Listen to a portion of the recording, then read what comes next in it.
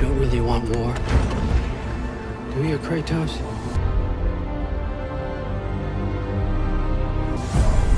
All that blood on your hands?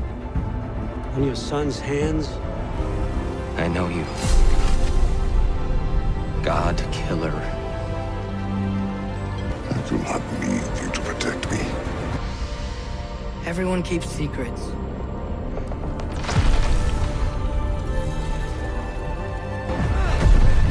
That?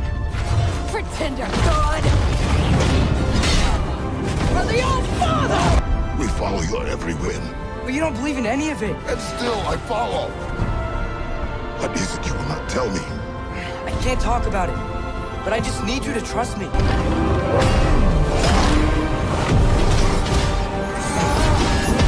Lifetimes has anyone ever worshipped you?